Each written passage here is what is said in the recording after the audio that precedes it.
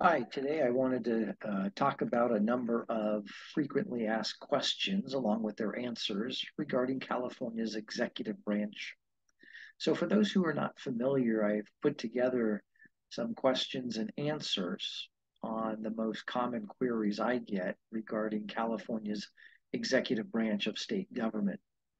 So, the first is what power is granted by the Constitution to our governor the supreme executive power of the state is vested in the governor.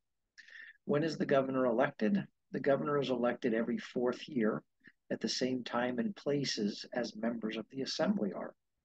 When does the governor take office? The governor takes office on the Monday after January 1st, following the election. What are the requirements to be elected governor of California? The governor must be a voter who has been a citizen of the United States and a resident of this state for five years immediately preceding the governor's election. Is the governor subject to term limits? Yes. The governor may not serve more than two terms in office. Does the governor have to make an annual report to the legislature? Yes, the governor has to report each calendar year on the condition of the state and may make recommendations who fills a vacancy in a statewide office. The governor may fill a vacancy in office by appointment until a successor qualifies. Can the governor reorganize state government? Yes, the governor can assign and reorganize functions among executive officers and agencies and their employees, but not the other elected statewide officers and agencies administered by those statewide elected officers. Who is the commander in chief of the state's militia? The governor is commander in chief, and the governor may call the militia into action. Are there any conditions placed on the governor to grant a reprieve, pardon, or commutation? Nope. The only provision is the governor can use any conditions that the governor deems proper in making those decisions. Is there any limitation on the governor's power to grant a reprieve, pardon, or commutation? Yes. First, it can only occur after sentencing has taken place. Second, it does not apply in cases of impeachment.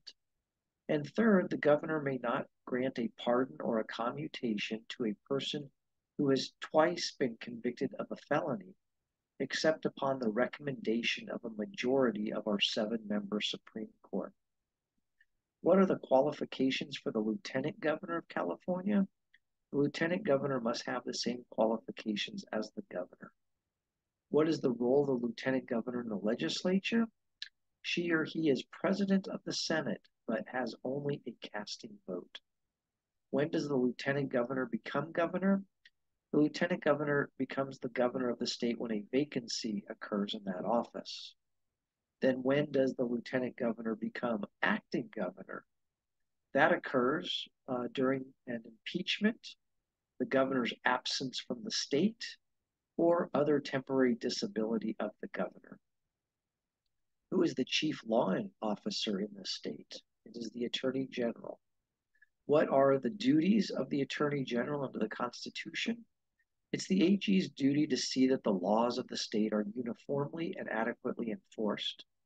Also, the Attorney General has direct supervision over every district attorney and sheriff in all matters pertaining to the duties of their respective offices.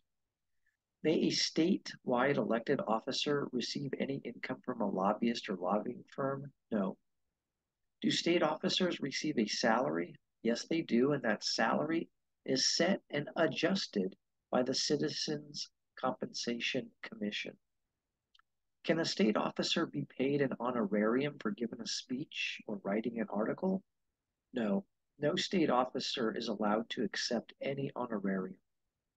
Can a state officer accept a gift? Yes, up to the specified statutory limit.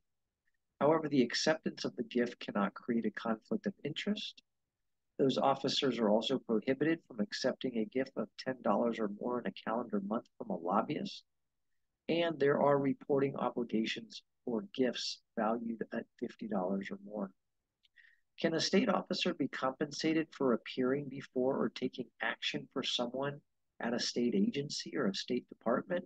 No. They cannot knowingly accept any compensation for appearing, agreeing to appear, or taking any other action on behalf of another person before any state government board or agency. There are some limited exceptions to that rule. And then finally, is there a revolving door limitation that applies to state officers? Yes. A state officer cannot engage in paid lobbying of the executive branch for 12 months after she or he leaves office. This also applies to a secretary of an agency or the director of a department who is appointed by the governor of the state of California. So those are my frequently asked questions and answers for the executive branch of state government here in California.